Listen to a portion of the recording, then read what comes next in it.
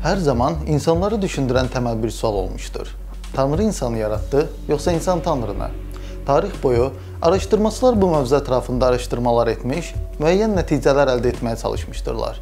Bu videoda biz bu araşdırmaları ələ alaraq bu məşhur sualın cavabını tapmağa çalışacağıq. Görəsən Tanrı insanı yaratdı, yoxsa insan Tanrını?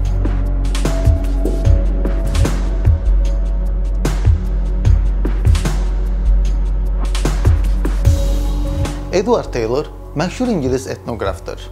Taylor da ibtidai inancların ortaya çıxması barədə yeni bir nəzəriyyə formalaşdırmışdır. Taylora görə ibtidai inanclar əslində animizmdir, yəni ruhlara inan. Animizm nəzəriyyəsi daha çox yuxularla əlaqələndirilir.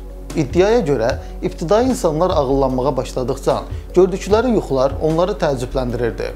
Onlar yatdıqları zaman özlərini başqa yerlərdə görür, hətta ölmüş şəxslərlə belə görüşürdülər. Bu zaman ibtidai insanların ağlına bir düşüncə gəlir. Yatdığımız zaman bizim bir parçamız bədənimizdən ayrılır və gəzir. Bu ruhdur. Əgər yatdığımız zaman ruhumuz bədənimizi müvəqqəti tərk edirsə, öldüyümüz zaman əbədi tərk edir. Bununla da ilk insanlar ruha inanmağa başladılar və hər bir obyekti ruhla əlaqələndirdilər. Məşhur bioloq və təkamül nəzəriyyəsinin banisi sayılan Charles Darwin də Taylorla eyni fikirdə idi. O, özünün İnsanın Törəyişi adlı əsərində bu barədə geniş qeyd edir. Taylorun animizm iddiası xətalarla dolu bir iddiadır və heç bir əsası yoxdur.